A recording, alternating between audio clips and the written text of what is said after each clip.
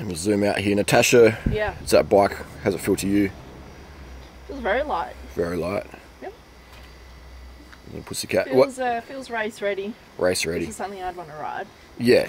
So we just, basically the video was saying that if you want to be a pro rider, you should have two bikes.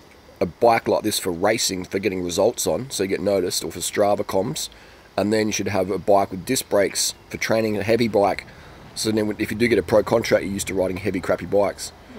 But yeah, ride a bike like this for results, but then also have a disc brake bike, like a heavy training bike. Like, you know, what you could do basically, buy the brand new Scott, full blinged out Dura-Ace 12 speed, the best of the best, for like 20,000 bucks, whatever it costs. And then buy this bike, which will cost you around 700 to 1500 dollars Australian, 6.8 kilos in the money. And you know what I mean? So you have two bikes. Have the have the, the latest bike for training as a heavy bike, winter bike, and then have the cheap bike, the old bike, for racing when results matter. And that's how you. Uh, that's what I recommend. Anyone wants to be a pro, and also set your brakes up Euro style. So front brake on the left. Is that front brake left on that one, Natasha?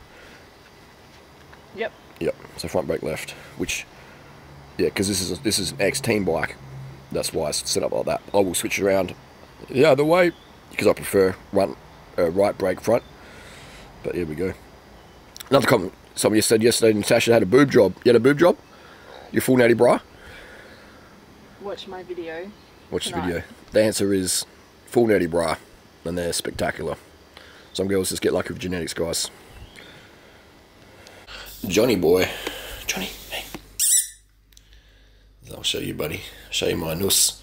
These are a cool little vegan lolly here in Australia from Allen's. The spearmint leaves. I really rate those. I, I rate those a lot.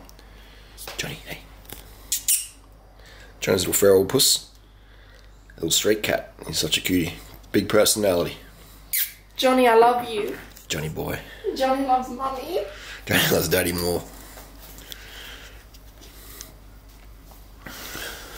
Johnny loves mummy. Look at him, he's proud. a proud little puss. Proud little puss pussy, little praline tomcat. He's a proud He, he's winked at me. Did he? He did. No? He's like, wait for later, buddy.